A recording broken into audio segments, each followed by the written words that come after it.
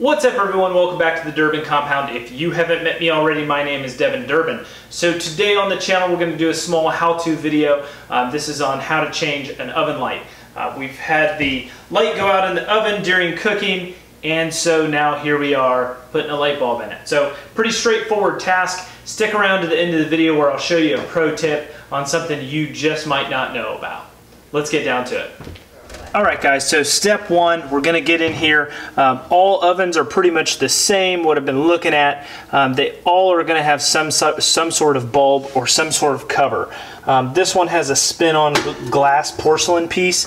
Um, it's, it might be a kind of a pain in the butt to get off. Might be on there kind of tight.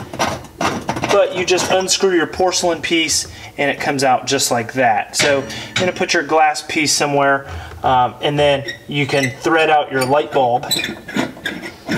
Obviously you do not want to do this when the oven is uh, nice and hot. So um, your light bulb comes out, it's a standard light bulb like this. Um, the I highly recommend you go with an appliance bulb. These appliance bulbs uh, are available at your local box store. Um, the appliance bulbs are important because they uh, they're designed to withstand the extreme temperatures. So go ahead, I'll roll in a picture of it here. Um, these are about $3 um, and we'll get this light bulb changed out to a new one. All right, so once you have your light bulb out of the package, go ahead, we'll thread it in uh, with the door open. The light bulb should come right on. Obviously, don't look at the light bulb when you're screwing it in. Okay, and we have illumination. Now we're gonna go ahead and replace our glass piece. Make sure it's snug. You don't want vibration to, uh, to jar it loose. All right, now, might have required me to look directly at the bulb to see where I was going, but we're gonna get our glass piece screwed back in here.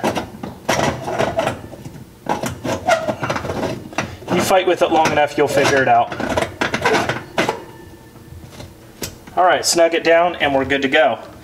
Now we'll make sure that it works. All right, outstanding. I'm also gonna control it by my oven light. Looks good to me. All right, guys, so a quick, uh, quick simple $3 fix. Make sure you get an appliance bulb so that it will last or withstand the test of time and those crazy temperatures that are inside your oven. Um, I haven't tried to do it with a small regular bulb, but if you're so cheap that you can't spend the $3 on it, then uh, you, I don't know what to tell you. Um, I think you need a checkup from the neck up. So uh, I promised you guys a pro tip uh, at the end of the video, let's go ahead and I'm gonna I'm gonna bring you down close to the oven again, and I'm gonna show you this pro tip and how uh, working on your oven or doing this light may be even a little easier. If you ever want to remove the door on your oven, there's a couple different latch designs, but this latch design is incredibly simple on the LGs. Um, you just pull up this tab here on both sides.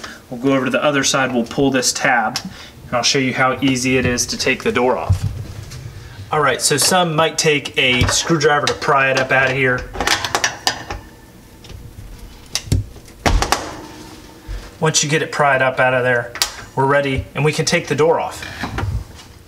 So as soon as you have your latches off on both sides, you can simply lift the door up out of here and straight off the front of the oven.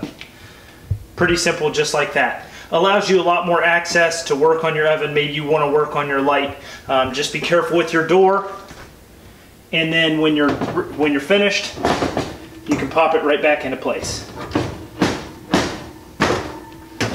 Once you've got it back into place, put your latches back into the, into the original position and you're good to go.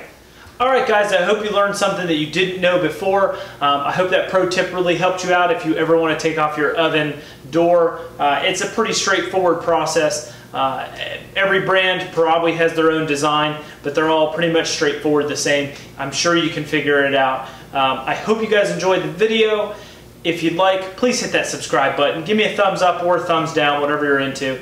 Um, be sure to correct me in the comments because a lot of people love to do that. So I look forward to seeing your comments below. As always, we'll see you guys in the next video and maybe we'll have something else cool to talk about.